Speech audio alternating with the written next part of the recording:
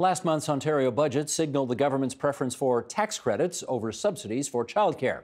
Now, as more details emerge about the government's wider funding strategy for the sector, advocates and many municipalities across the province are speaking up. And that includes Carolyn Ferns, who's public policy and government relations coordinator with the Ontario Coalition for Better Childcare.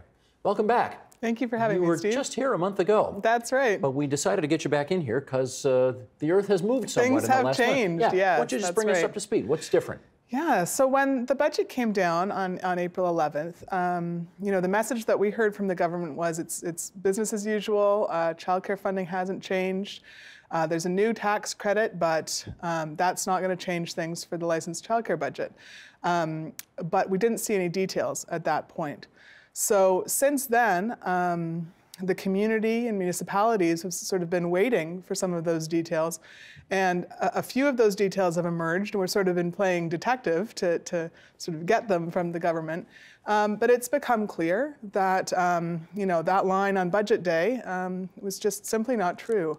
And um, municipalities are facing, at a minimum, $80 million in cuts to childcare funding. So the line you're referring to on budget day is that it's status quo and nobody's going to be cut. Mhm, that's right. The yeah. cuts the cuts have been announced and uh, have been apparent. Yeah, that's right. I mean, our organization, um, when we got those allocation figures that showed uh, money that goes from the provincial government to uh, municipalities for childcare, um, simply comparing the 2019 numbers to the 2018 numbers, we see an immediate $80 million cut to childcare. Um, and then what the City of Toronto and has, has done, and other municipalities are doing right now, they're crunching the numbers, is to also take into account the other policy changes that are being imposed on municipalities, um, changes to cost sharing, that sort of thing. Um, and the City of Toronto has shown that that uh, makes the cut even deeper. Um, they're estimating uh, there could be 6,000 subsidies lost in the City of Toronto alone. And like I say, other municipalities are still crunching the numbers on that. We're actually waiting for even a few more details from the government. Um, and uh, you know, we're worried that as other municipalities uh, figure out what the impacts are going to be, um, we're going to see some real cuts to services that affect families. Let's just look at that 80 million province-wide number. Mm-hmm, Where do you get that number from? So we get it from the, the government, you know, from the Ministry of Education's allocations um, to childcare. Um, so it's the government's figure. Um, that's why we didn't have it when the um, when the budget came down. We waited for them to release their allocations. We compared them to the year before, and there's 80 million dollars gone. And what does an $80 million cut mean in your world? Um, it, it means a lot. So, um, you know, here in Toronto, they've already started crunching the numbers on subsidies being lost, um, and they're saying it could be over 6,000 subsidies.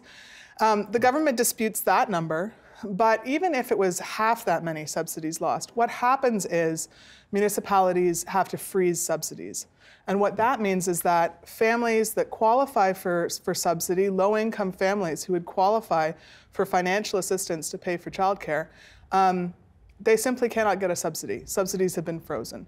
So a low-income family, maybe a single mom who needs to go back to work, um, you know, needs that childcare subsidy to be able to do that, won't be able to get a child care subsidy. That's what it means at the end of the day. And what does it mean for her life?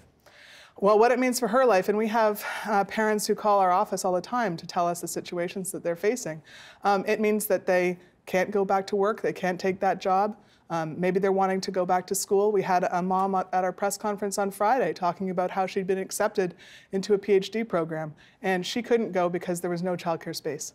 The message from the government that you know people are exaggerating, um, it, it's becoming harder and harder to believe that, um, because you know it's not only the city of Toronto, um, it's not only the opposition at, at this point. It's uh, you know the big city mayors, the the rural mayors talking about public health, and in the case of childcare, it's uh, parents and it's childcare providers who who do this every day, who know exactly what this money means to their programs and and whether or not they can keep the doors open. So I think that the ministry um, and, and the Ford government should should listen to people that are trying to um, to get their attention and say, hey, there's something wrong here.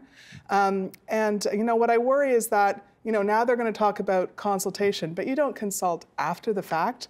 Um, you know you should be consulting up front with the community, listening to the community, and then making your decisions. Well, the minister's office may have may not have responded to us, but uh, Lisa Thompson, the minister of Education, did respond in the legislature to questions about this. So we'll play a clip of that, and then you can tell me what you think of the answer, okay? Sure. Sheldon, if you would. We have to get all the facts out on the table.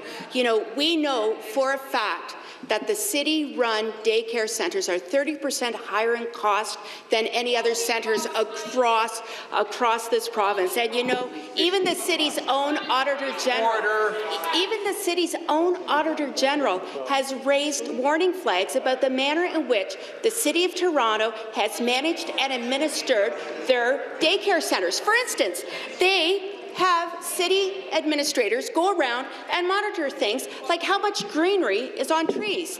They also have city administrators go around to make sure the seasonal decorations are in place in daycares. Honestly, Speaker, oh is that the best use of taxpayer dollars? Response. I think the, the City of Toronto can find 5% in administration efficiencies because we need to get it right for the families. Okay, a bunch of things to unpack there. Uh, let's start with this 30% higher cost. Mm-hmm. Uh, in the kind of situation she described mm-hmm. uh, versus other other places in the province. So what the minister is referring to is um, childcare programs that are run by the City of Toronto, um, and the difference in cost of uh, of those programs is is labor costs it's paying early child educators decently.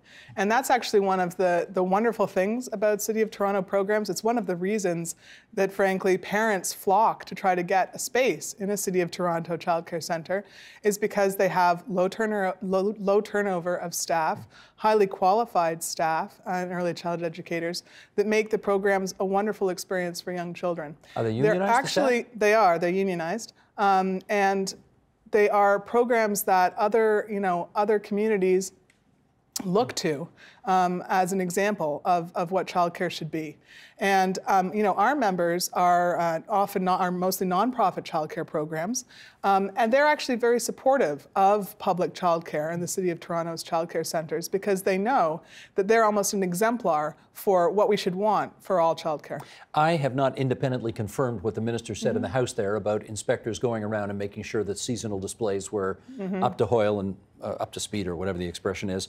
Uh, but if that is in fact the case, would you agree with her that that's um, an unnecessary expenditure? I think that she's exaggerating some of those uh, those uh, examples there.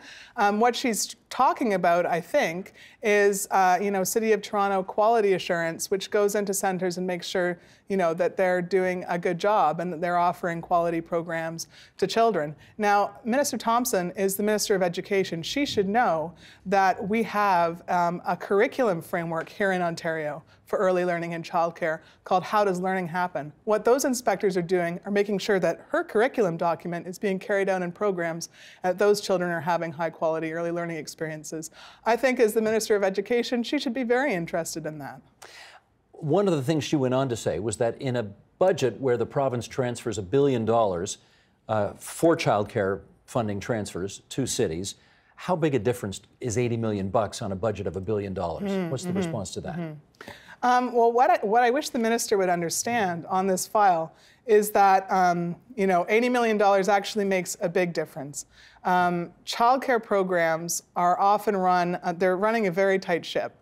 And um, as I was talking about before about fee subsidies, um, the worry is that as soon as budgets get cut, fee subsidies get frozen. Now, the effect of that is that um, new families, even if they qualify, can't get a fee subsidy. That means they can't afford a childcare space.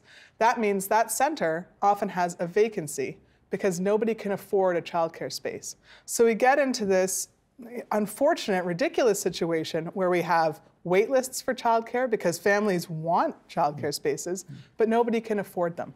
Hmm. Right? Um, so that's the effect of having a subsidy freeze, and that puts programs at risk of closure.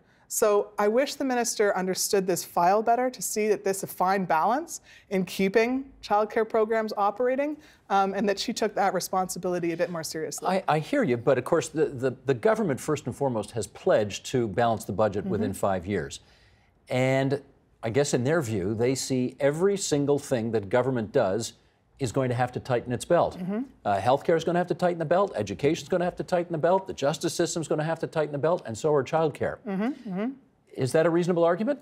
Um, you know, that's definitely the government's argument. Mm-hmm. Um, but I would point to their, their new care tax credit, where they're spending at least $390 million um, and, and, and possibly um, millions more um, estimates from economists. You know, if that number continues to balloon, it's going to create additional pressure on the education budget, on the childcare budget. Um, and giving parents a bit of money in their pocket when there's no childcare spaces to spend it in isn't going to be very helpful. So I think it's about smart investment in childcare and, and really looking at the system as a whole. Let's, uh, Carolyn, finish up on this. Uh, I haven't heard anybody from the government articulate this, although I think it's probably safe to say some people feel this way, which is they're not crazy about the idea of cities being in the quote unquote business of operating childcare. Mm-hmm. That this is something that the private sector, in their view, ought to be able to take care of. And if people want childcare, mm-hmm. go purchase it as a good as you would anything else. Mm-hmm. How about that argument? Um, I, I, think that that does articulate uh, the government's feelings on, on the matter. Um, just to explain the, the sort of childcare sector as a whole, um, city-run or municipally operated, regionally operated childcare programs are a very small um, piece of, of childcare spaces, um, but they're an important one because, as I said, they, they provide examples of really high-quality program. They're often used um, for, as research hubs to, to, to discover new things about creating great quality programs. The vast majority of childcare in the province right now, more than 75%, is nonprofit. So it's, it's private, nonprofit um, childcare programs. Now, where the government is now making a change is in opening up more government funding and more expansion to for-profit childcare. And I think that's very concerning because um, research has shown that there's a quality difference between nonprofit and for-profit childcare. We had this fight last time you were on the show. And also, um, I mean, but also it's it's public education money, and I think that um, Ontarians actually uh, would be a bit uh, worried to hear that the Ministry of Education is spending public education dollars on bringing uh, big box for profit childcare into our schools. That's our time. We thank Carolyn Ferns from the Ontario Coalition for Better Childcare for coming back to our studio to update us on what's been going on. And my suspicion is this isn't the last we'll see of you. No, definitely not. Thank you. Thank you very much. The Agenda with Steve Paikin is brought to you by the Chartered Professional Accountants of Ontario helping businesses stay on the right side of change with strategic thinking, insightful decisions, and business leadership. Are you on the right side of change? Ask an Ontario CPA.